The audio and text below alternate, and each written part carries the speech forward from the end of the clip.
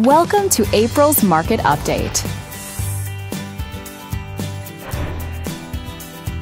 Let's take a look at residential real estate activity in your area during the month of April. The number of active listings was down 7% from one year earlier and up 23% from the previous month.